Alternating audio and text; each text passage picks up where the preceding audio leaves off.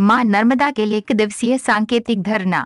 मध्य प्रदेश की जीवन जीवनदायिनी माँ नर्मदा पर जिस तरह से उत्खनन किया जा रहा है, वह काफ़ी चिंताजनक है। यदि माँ नर्मदा में उत्खनन बंद नहीं हुआ तो ऐसा लग रहा है कि मानो हमारी आने वाली पीढ़ियों को माँ नर्मदा के दर्शन नसीब नहीं होंगे।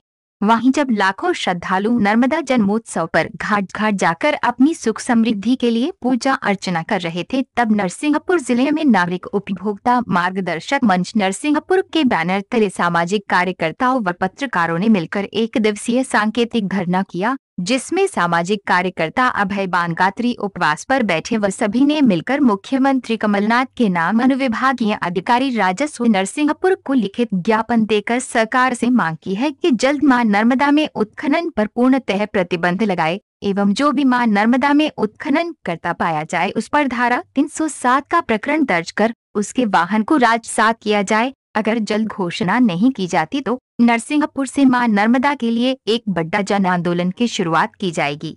सांकेतिक धरने में राकेश पटेल रिछा वाले सामाजिक कार्यकर्ता अभय बानगात्री, देवेंद्र शर्मा, पंडा, दीपचंद्र जाटव, मनोज शुक्ला पी के पुरोहित खुड़पा वाले, पटेल साहेब खुड़पा वाले, राकेश राजपूत, कृष्णकांत कौरव, रंजीत कौर भौरझिर, शैलेंद्र मिश्रा, आशीष साहू, कमलेश साहू, अतुल नेमा प्रमोद झारिया गोटे गाँव अमित नेमा अस्सू नेमा नरसिंहपुर से अंकित नेमा की रिपोर्ट। आयोजन किया गया। शासन से आपकी क्या मांग है और आप क्या चाहते हैं? आज नर्मदा जयंती है और हम सभी पत्रकार साथी और सामाजिक कार्यकर्ता और जितने भी नर्मदा भक्त हैं हमारे ज़िले के तमाम लोग यहाँ आज धरने पर बैठे हुए हैं। और ये एक दिवसीय हमारा सांकेतिक धरना है।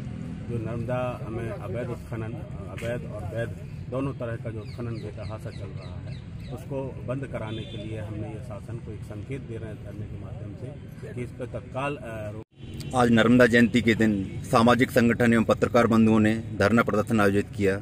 क्या संदेश देना चाहते हैं? हम क्या मांगे हैं आपकी? नागरिक उपभोक्ता मंच के सामाजिक कार्यकर्ता एवं मेरे पत्रकार साथी अभय वनगात्री द्वारा लगातार